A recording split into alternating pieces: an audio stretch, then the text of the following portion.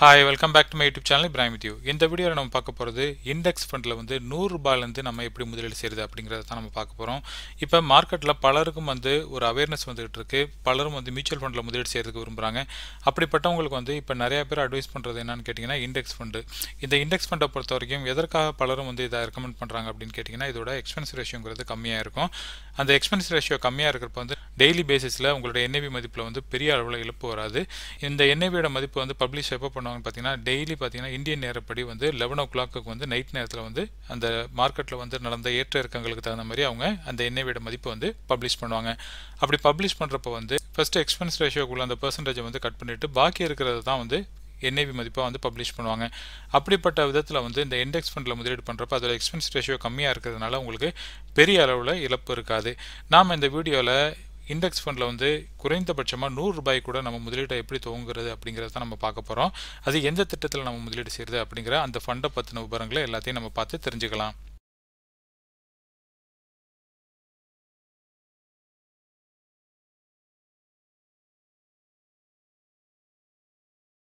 Mutual ஃபண்டை பொறுத்த வரைக்கும் ஆக்டிவ் ஃபண்டுன்னு இருக்குது பாசிவ் ஃபண்டுன்னு இருக்குது இந்த பாசிவ் ஃபண்டில் வர்றது தான் வந்து இந்த இண்டெக்ஸ் வகை சார்ந்த முதலீடுகள்.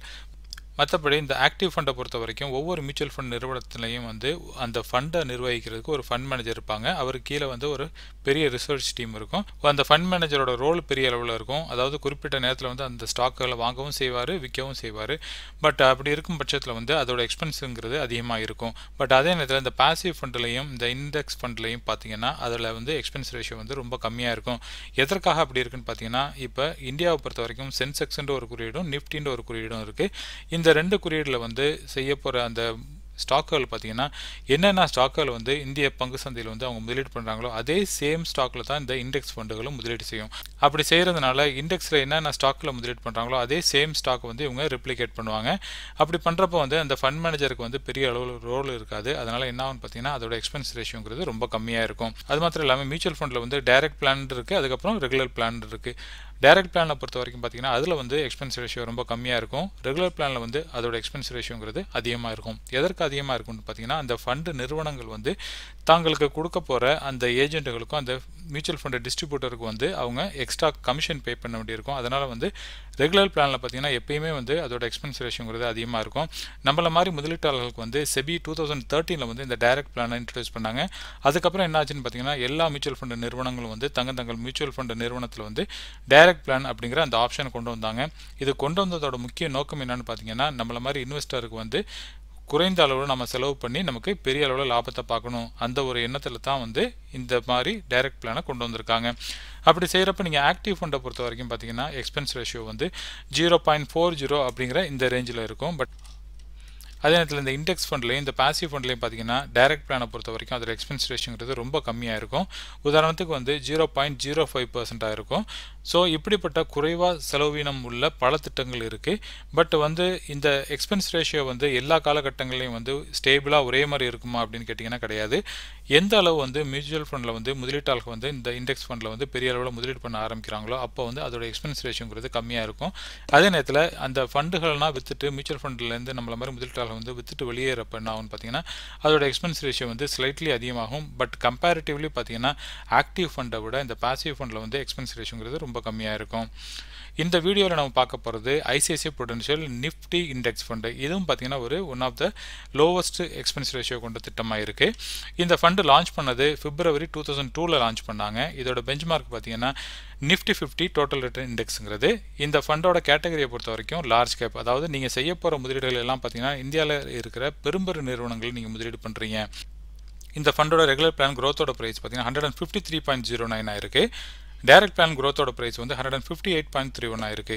ரெண்டாயிரத்து ரெண்டில் வந்து இந்த ஃபண்டும் வந்து பத்து ரூபா முகமதிப்பில் வெளியான ஒரு ஃபண்டு தான். அதான் டைம் டு டைம் நம்மளோட சேனலில் வந்து என்எஃப்ஓ பற்றின விவரங்கள் போடுவோம்.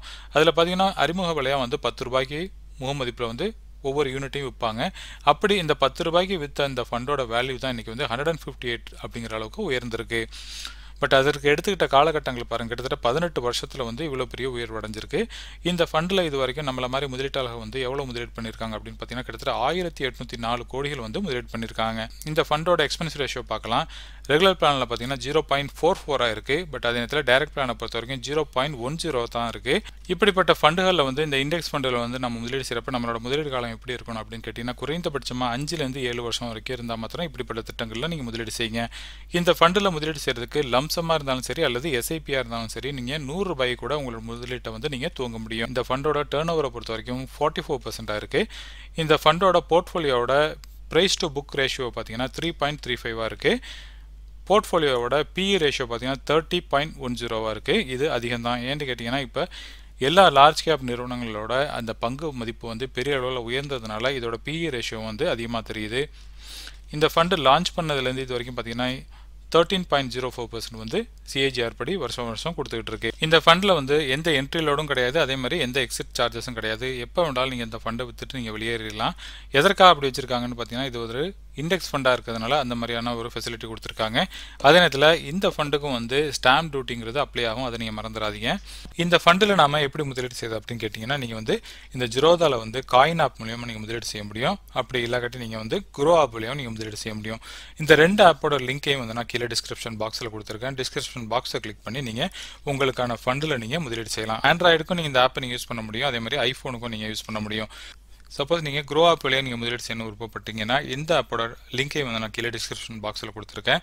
அதன் மூலிமா நீங்கள் டவுன்லோட் பண்ணி உங்கள் முதலீட்டை நீங்கள் துவங்க முடியும். The biggest risk is not taking any risk அதாவது நீங்கள் எந்த ஒரு ரிஸ்க் எடுக்காமல் நீங்கள் இருந்தீங்கன்னா வாழ்க்கையில் உங்களாட்டி எந்த ஒரு முன்னேற்றத்தையும் நீங்கள் அடைய முடியாது அப்படிங்கிறது தான் இந்த ஒரு வேர்டு வந்து உங்களுக்கு ஒரு கோட் வந்து உங்களுக்கு தெரிவிக்குது. இந்த ஸ்க்ரீனில் நீங்கள் பார்க்குறது வந்து இந்த ஃபண்டு செய்ய போகிற முதலீடுகளோட அந்த போர்ட்ஃபோலியோ பார்க்குறீங்க இதில் பார்த்தீங்கன்னா ஜேண்ட் பெரும்பெரும் நிறுவனங்களை வந்து எயிட்டி சிக்ஸ் பர்சன்ட் வந்து முதலீடு பண்ணுறாங்க அடுத்ததாக பார்த்தீங்கன்னா ஃபோர்டீன் பர்சன்ட் வந்து லார்ஜ் கேப் திட்டங்களில் முதலீடு பண்ணுறாங்க ஸோ ஓவராலாக பார்த்தீங்கன்னா உங்களோட முதலீடுகள் எல்லாம் வந்து பெரும்பெரும் நிறுவனங்களே இருக்குது இந்த வீடியோ பார்க்குற பல நபரும் வந்து எனக்கு மெயில் அனுப்பணும் உங்களோட இமெயில் ஐடி சொல்லுங்கள் அப்படிங்கிறீங்க. என்னோட இமெயில் அட்ரஸ் வந்து நான் மேலே போட்டிருக்கேன். இது வந்து நீங்கள் யூடியூப் சேனலில் என்னை பார்க்கணுன்னு நீங்கள் விரும்புனீங்கன்னா என்னோட சேனலை வந்து இந்த முகவரி வழியாகவும் நீங்கள் பார்க்க முடியும். என்னோட இமெயில் அட்ரஸ் இங்கே நான் மென்ஷன் பண்ணி வச்சுருக்கேன். சப்போஸ் உங்களுக்கு ஏதாச்சும் டவுட் இருந்துச்சுன்னா எனக்கு மெயில் அனுப்புங்க. சப்போஸ் உங்களுக்கு ஐசிஐசிஐ ப்ரொடென்ஷியல் மியூச்சுவல் ஃபண்டு வழியாக போய் முதலீடு செய்கிறதுக்கு தெரியாது. சப்போஸ் உங்களுக்கு வந்து ஐசிஐசிஐ ப்ரொடென்ஷியல் மியூச்சுவல் ஃபண்டு வழியாக நம்ம எப்படி ரெஜிஸ்டர் பண்ணி எப்படி நம்ம இந்த இண்டெக்ஸ் ஃபண்டு வாங்குறது தெரிஞ்சுக்கணும்னு நீங்கள் விரும்புனீங்கன்னா கமெண்ட் பண்ணுங்கள் உங்களோட கமெண்ட் எத்தனை பேர் கமெண்ட் பண்ணுறீங்களோ அதற்கு தகுந்த மாதிரி இந்த வீடியோவை நான் மேக் பண்ணி போடுறேன். ஏன்னா இப்படிப்பட்ட வீடியோகள் மேக் பண்ணுறப்ப வந்து ரொம்ப டைம் கன்சியூம் ஆகுது. பட் அதுக்கு பெரிய அளவில் வரவேற்பு இல்லாதனால நான் வந்து அப்படிப்பட்ட வீடியோக்களை வந்து நான் அவாய்ட் பண்ணிக்கிறேன். சப்போஸ் உங்களுக்கு விருப்பம் இருந்துச்சுன்னா கமெண்ட் பண்ணுங்கள் எத்தனை பேர் கமெண்ட் பண்ணுறாங்க அப்படிங்கிறத நான் பார்த்துட்டு இது சம்மந்தமான வீடியோக்களை நான் வெளியிடுறேன். இந்த ஸ்க்ரீனில் நீங்கள் பார்க்குறது வந்து இந்த ஃபண்டோட ரிட்டர்ன் கால்குலேஷன் பார்க்குறீங்க அதாவது இந்த ஃபண்டு ஆரம்பித்த நாள்லேருந்து ஒரு பத்து வருடத்தோட ரிட்டர்ன் கால்குலேஷன் எடுத்து கொடுத்துருக்கேன். இந்த ஃபண்டோட பேர் வந்து இதில் வந்து க்ரீன் கலரில் கொடுத்துருக்கேன். அதாவது இந்த ஐசிஐசி பொட்டன்ஷியல் நிஃப்டி இண்டெக்ஸ் ஃபண்டை வந்து நான் இதில் க்ரீன் கலரில் மென்ஷன் பண்ணியிருக்கேன். அடுத்ததாக பார்த்தீங்கன்னா S&P BSE hundred total return இண்டெக்ஸோட அந்த குறியீடை போட்டிருக்கேன். அதுக்கப்புறம் ஃபைனலாக பார்த்தீங்கன்னா இதே மாதிரி லார்ஜ் கேப் திட்டங்கள் வந்து எந்தெந்த திட்டங்கள் இருக்குது அதோட ஆவரேஜான வருமானம் எவ்வளவு அதையும் இதில் கம்பேர் பண்ணி போட்டிருக்கேன். ஸோ இதில் இயர் டு டேட்டை பொறுத்த வரைக்கும் இந்த ஃபண்டு வந்து twelve point six four percent வந்து ரிட்டர்ன் கொடுத்துருக்கு. மற்ற திட்டங்கள் பார்த்தீங்கன்னா ஃபோர்டீன் பர்சன்ட் ரிட்டர்ன் கொடுத்துருக்கு. அதே நேரத்தில் one month three month six month அப்படின்ற எல்லா ரிட்டர்ன் கால்குலேஷனும் இதில் கொடுத்துருக்கேன். ஒன் இயரில் பொறுத்த வரைக்கும் இந்த ஃபண்ட் வந்து forty five point eight two percent வந்து ரிட்டர்ன் கொடுத்துருக்கு. த்ரீ இயரை பொறுத்த வரைக்கும் தேர்ட்டின் பாயிண்ட் ஃபைவ் சிக்ஸ் பர்சன்ட்டும் ஃபைவ் இயரை பொறுத்த வரைக்கும் பார்த்தீங்கன்னா தேர்ட்டின் பாயிண்ட் எயிட் எயிட் பர்சன்ட்டும் செவன் இயரை பொறுத்த வரைக்கும் லெவன் பாயிண்ட் த்ரீ ஃபைவ் பர்சன்ட்டும் டென் இயரை பொறுத்த வரைக்கும் லெவன் பாயிண்ட் டூ ஃபோர் பர்சன்ட்டும் ரிட்டர்ன் கொடுத்துருக்கு. நம்ம இண்டெக்ஸ் ஃபண்டை பொறுத்த வரைக்கும் அதோட எக்ஸ்பென்ஸ் ரேஷியோ கம்மியாக இருக்கிறதுனால இதில் வந்து நீங்கள் இந்த ஃபண்டோட அந்த ரிட்டர்ன் பார்த்தீங்கன்னா லெவன் பர்சன்ட் டுவெல் பர்சன்ட் அப்படிங்கிற அளவுக்கு இருக்குது பட் அதே நேரத்தில் எக்ஸ்பென்ஸ் ரேஷியோ நம்ம கம்மியாக பே பண்ணுறதுனால நமக்கு வந்து தேவையில்லாத செலவினங்கள் குறைந்து அதையும் வந்து வருமானம் நமக்கு நம்ம இந்த திட்டத்தில் அது ஆட் ஆகிக்கும் இந்த ஸ்க்ரீனில் நீங்கள் பார்க்குறது வந்து இந்த ஃபண்டோட போர்ட்ஃபோலியோ பார்க்குறீங்க இந்த ஃபண்டு வந்து எந்தெந்த ஸ்டாக்கில் முதலீடு பண்ணுது அப்படிங்கிற அந்த விவரங்கள் தான் இதில் பார்க்குறீங்க உதாரணமாக பார்த்தீங்கன்னா ரிலையன்ஸ் இண்டஸ்ட்ரியில் முதலீடு பண்ணுறாங்க ஹெச்டிஎஃப்சி பேங்க் அதுக்கப்புறம் Infosys HDFC Limited ICICI Bank Tata Consultancy Service Kotak Mahindra Bank Hindustan Unilever Axis Bank Larsen Toubro ITC State Bank of India Bajaj Finance Asian Paint Bharat Airtel HCL Technology இப்படின்னு நீங்கள் பார்க்குற எல்லா விஷயங்களும் பார்த்தீங்கன்னா எல்லா முன்னணி நிறுவனங்கள் தான் தவிர வேறு எதுவும் ஒரு உங்களுக்கு தெரியாத ஒரு சோட போன நிறுவனங்கள் கிடையாது. அதனால் கான்ஃபிடென்ட்டாக நீங்கள் இண்டெக்ஸ் ஃபண்டில் முதலீடு பண்ணலாம். இன்றைக்கி பார்த்த வீடியோவில் நம்ம இண்டெக்ஸ் ஃபண்டுனா என்ன? ஆக்டிவ் ஃபண்டுக்கும் பேசிவ் ஃபண்டுக்கும் என்ன வித்தியாசம்? அதே மாதிரி எக்ஸ்பென்ஸ் ரேஷியோ பொறுத்த வரைக்கும் ஆக்டிவ் ஃபண்டில் எவ்வளோ இருக்கும்? பேசிவ் ஃபண்டில் எப்படி இருக்கும்? இண்டெக்ஸ் ஃபண்டில் எப்படி இருக்கும்? அப்படிங்கிற அந்த விவரங்கள் நான் சொல்லியிருந்தேன். இந்த ஃபண்டை பற்றின விவரங்களும் நான் இதில் எடுத்து சொல்லியிருந்தேன். இயர் டு டேட்லேருந்து டென் இயரோட ரிட்டர்ன் கால்குலேஷன் எடுத்து பார்த்தோம். இந்த வீடியோ பிடிச்சிருந்துச்சுன்னா லைக் பண்ணுங்கள் உங்கள் ஃபேமிலி ஃப்ரெண்ட்ஸோட ஷேர் பண்ணுங்கள் இது வரைக்கும் என்னோட சேனல் நீங்கள் சப்ஸ்கிரைப் பண்ணாமல் இருந்தீங்கன்னா என் சேனல் நீங்கள் சப்ஸ்கிரைப் பண்ணிக்கோங்க. இதே மாதிரி ஒரு நல்ல டாப்பிக்கோட எகைன் நான் உங்களை மீட் பண்ணுறேன் அது வரைக்கும் டேக் கேர் பபாய்